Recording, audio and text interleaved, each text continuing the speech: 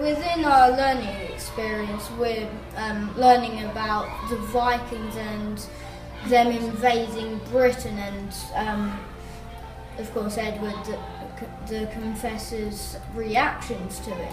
So it involves um, history and literacy.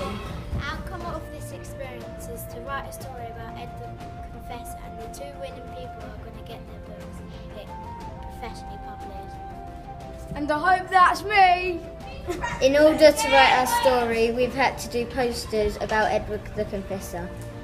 Here's some of In them. 03, Edward the Confessor was born, and he, he was watching 10 years of the Viking Raiders.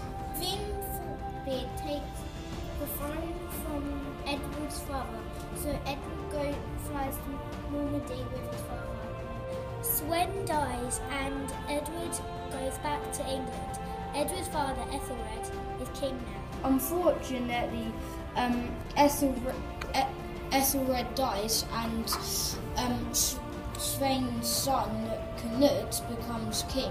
So, and and that's because um, Edward and Canute fight for the throne, but Canute unfortunately wins the fight, and um, Edward has to go back to Normandy for 25 years. Sadly, Canute, dies, and Edward's half brother becomes king again. Edward's half brother calls Edward back to come back from England. Edward's half brother says when he dies, Edward the Confessor can come become king. And one year later, his brother dies, and Edward becomes king.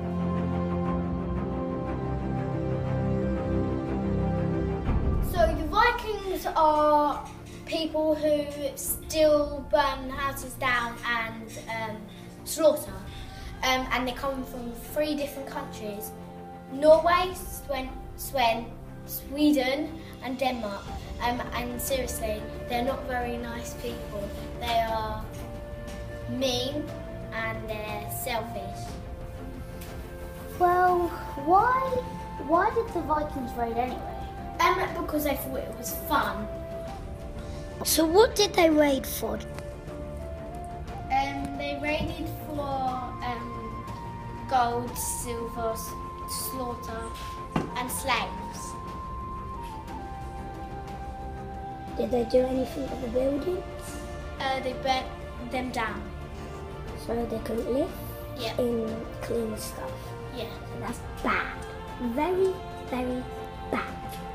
What happened when the Vikings came to England when they raided? And um, what um, when they raided, um, what were the people supposed to do? Uh, well, we don't know that, but the people might have got frightened and run away, but um, they got captured and maybe become slaves or killed. Didn't they even? Didn't they come become kid? Didn't they get kidnapped? Yeah, so they become slaved. Slaves, even.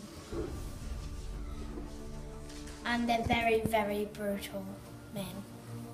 They Oh, smell, smell that fresh air. There's no more burning the house down, but most importantly, there's no blood or people lying on the floor. But even importantly, there's no Vikings. What a relief! Yeah, and we have green, green grass everywhere. Why wouldn't anyone want to live here? Hi guys, Um, um, this week we've been learning about loads about Vikings and we're now doing our own raid on Woodpeckers Year 6. We're allowed to um, kidnap people Be quiet, they're coming out. We plundered, we slaughtered. These are some of the things we stole. I found a death diary, and in it there is a prayer book from the saints we slaughtered. I found this classic gem. It looks a bit like a diamond. I found some. And I found this thing. I don't know. I the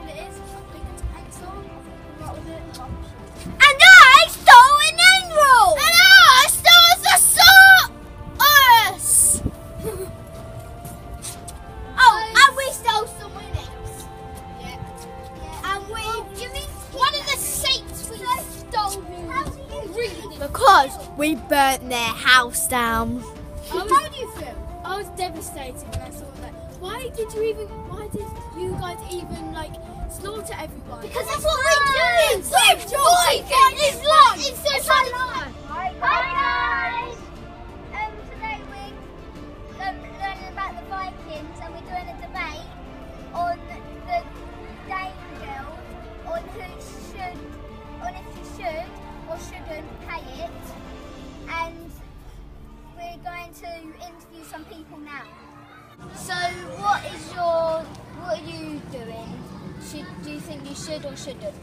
the Well, I think you should because um, if if you pay them, then they would just uh, um, keep on coming back. But that's the problem.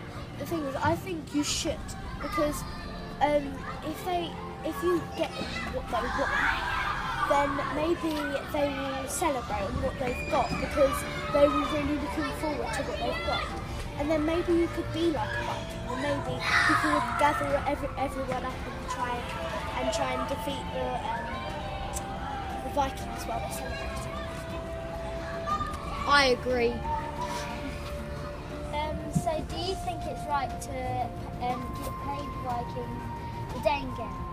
Uh, I don't think it is right because um, if you pay them, it's a waste of money and you won't be able to pay in life like money, medical supplies, houses, and uh, things like that. And also, um, if you if the Vikings come to you and they and you turn up with no money and they say, "Give me your um, then you'll just have to say, "I don't have any," and then they'll kill you because you don't have any to give.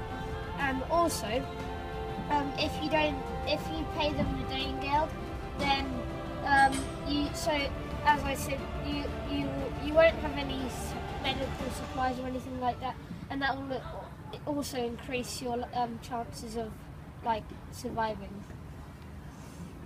True. This is my story opening for Edward the Confessor. It was the day I returned that I saw my worst nightmares become reality. My heavy red heart sank like quicksand. Would they come back? My hands were shaking in fear. My eyes changed colour from black to deep, deep red. Fire was burning in my soul. Would they return? My knees fell to the ground as I stared in shock at the devastated place. This was worse than any of my deepest fears. My mouth was breathless to speak. My heart lost hope. My head was filled with worries. I was heartbroken. Would what would become of my? Um, in my opening, I've used um, I've used like I haven't like I made it unclear, um, so that the reader doesn't know what's going to happen. So they ask questions, like for example, um, would they come back? You wouldn't know who came back, and um, you didn't know, you won't, you wouldn't know, so you'd be asking loads of questions. I've also written um, um, that I saw my worst nightmares become reality. You would be asking what what was my what was my nightmare, and so you'd be asking loads of questions. I've also put um, loads of rhetorical questions, so they would have like so they would want to read on to to find out their answers of their question. Um, I put some loads of punctuation in, and um, I've put ellipses so it, so it creates tension. Learning about describing the characters, I'm going to show you my um, describing the characters. So, a beastly dragon pushed through the crowd onto the battlefield and charged towards me from a deathly blow. He had a tank face out was bloody from fighting, and his spear flew, straight up into the air, and it was coming with stained blood. I said, "Please stop, Raiden. We've had it. We've had enough." I pleaded calmly. My legs started to warm, my hands to shake as I waited for his reply. No, we will not stop, Raiden. We will continue. Like they say, you'll never get rid of the Dane. The Viking said viciously to me, viciously to me with a piercing stare. As I'm king now and everyone agrees, I'm not going to let the powerful Viking trust this game. We've had enough. Um, so um, I've described how what the character feels like and who the character is and what they was doing. This is my describing the setting paragraph. Suddenly I could see something in the distance. It was the Vikings. A beastly dragon barged through the battlefield and charged towards me. There was polluted Vikings with their bloody swords. There were arrows. The decapitation of the leaping arrows in the sky made the people in the village flee. The noise was a high-pitched, piercing noise, like a sharp scream. My heart pounded. I whimpered. My hand quivered. What's going to happen? I've used short, short, snappy sentences, so it brings like the reader in, so they're like really interested. So, um, so I've got a, um, so what I'm doing is um, speech, um, so inverted commas and dialogue, and in this I've say, Vi- Vikings, um, Edward yelled, and, um, and um, that, and I put that in capitals to show that he's really yelling really loudly.